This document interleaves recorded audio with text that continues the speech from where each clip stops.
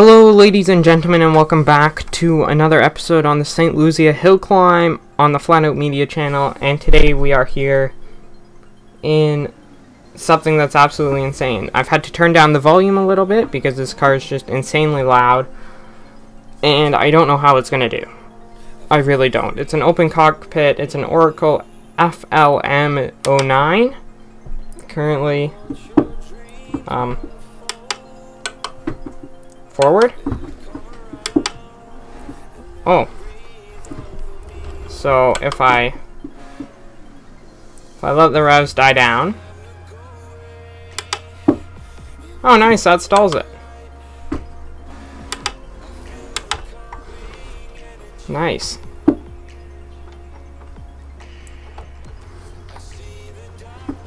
This thing's gonna be fun. This thing's gonna be, well, interesting. Interesting to stay to say the least. Stalled it again.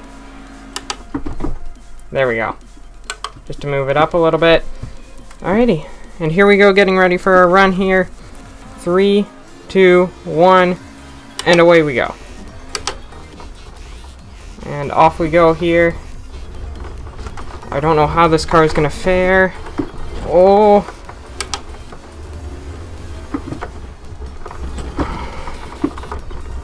The answer is, it's quite scary. It's really quite scary.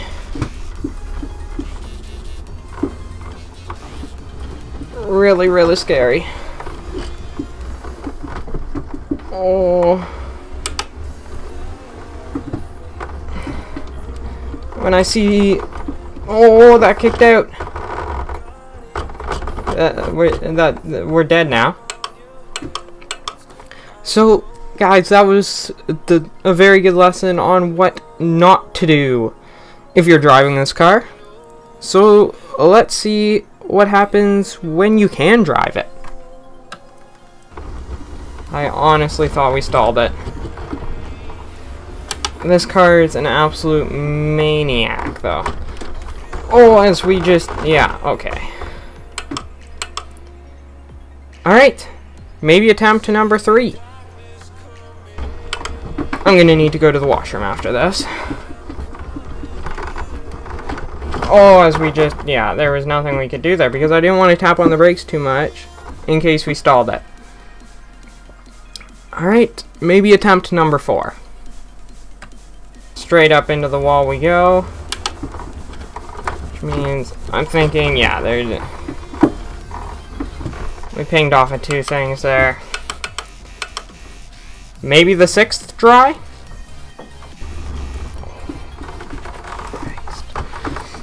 And we've crashed it. Sorry, buddy. Um, I might have just killed you there. Didn't mean to. It's just this car. Alright. Maybe next time? And then when you try to get power down, and then you walk up and you go into a barrier like that.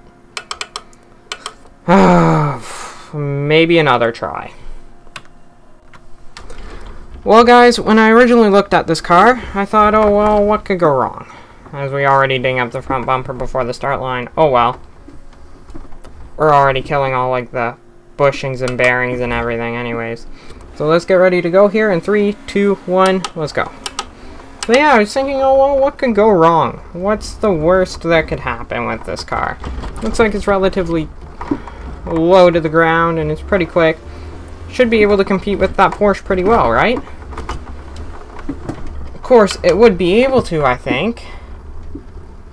If it would stay on the track. and wouldn't lock up and slide on every corner. And wouldn't kill itself. Like, every single corner here, no joke, I am fighting it. I'm fighting it every single corner. There's no not fighting this car.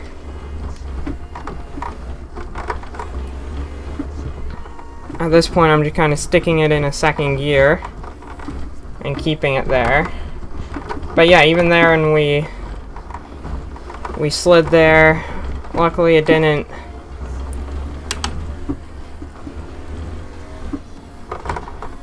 slow us down too much.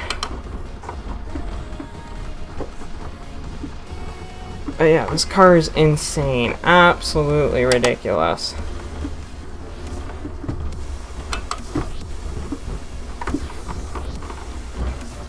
But it's not ridiculous in a way that other cars are ridiculous.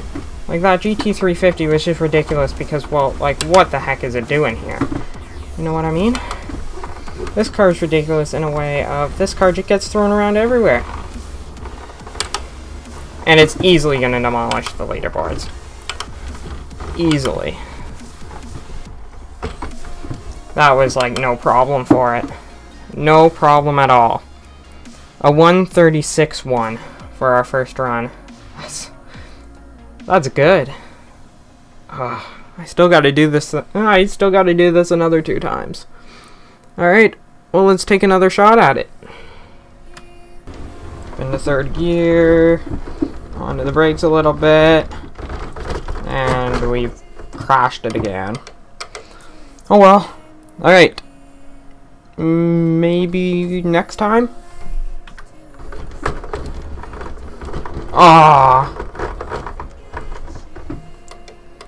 It felt like we were far enough away. Apparently we weren't, though. Maybe the next run?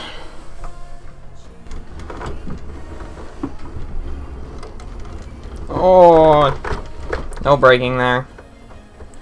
We just smoked our tires and our brakes. Oh well. Note to self, brake earlier, and brake more gently. Alright, so here we are, getting ready to go for what will hopefully be our second valid run. Hopefully, possibly, maybe, maybe not. So, let's go ahead build up revs here, and three, two, one, and away we go. Just up to third gear, no problem. There's no point in being in a lower gear. Try to keep the car under control here. And we just, we kind of slid over there, kind of tapped the wall. But, oh well. Tapping the wall is okay-ish. I've been to a third gear.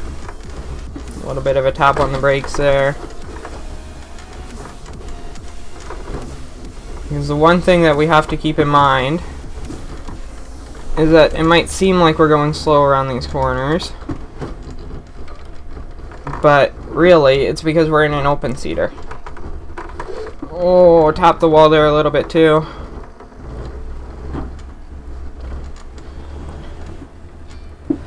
Yeah, and this car is ridiculous. Like, we got up to 150 there. That's not generally a speed that we should be getting up to on this course. And onto the brakes. Down into a second gear.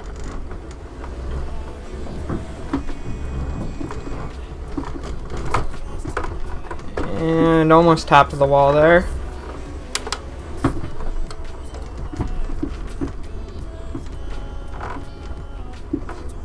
And fire it out the other side. And not as quick as the first run. But, oh well. I'll take that run any day of the week. At least it's a second run.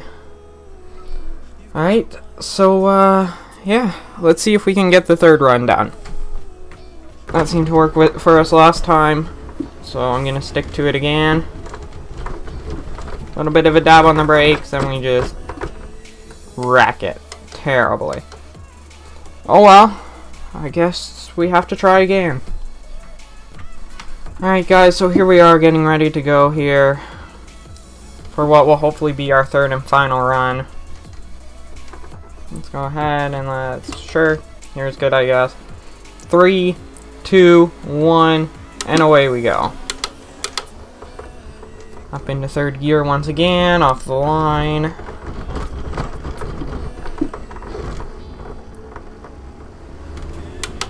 And yeah, it's not so much the fact that this vehicle's quick. I can handle the speed of it.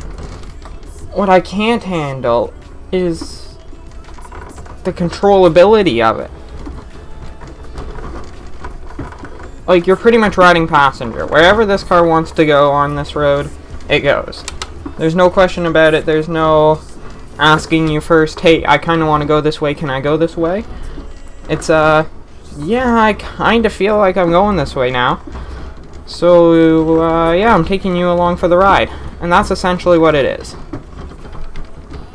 There's no asking you politely, hey, I know you don't want to go this way. Oh, well, we topped off of there. There's nothing we could have done there. Just kind of understeered into oblivion. Down into a second gear. To hopefully get more of the top end out of this car. But yeah, there's really nothing that you can do to counter what this car does. There's just nothing you can do. You're either into the bush, or you're into the guardrail, or wherever the vehicle decides to put you on this certain day. Which sucks. It really does. There we go. Up and across the line. We already had a blistering time, so I didn't feel the need to push it that hard on this run. Plus, I was getting kind of uh, tired of this car. And getting quite frustrated at it for its lack of controllability. But guys, um, I think our fastest time was, what, like a 136? So, let's go see how far ahead of the Porsche it is on the leaderboards.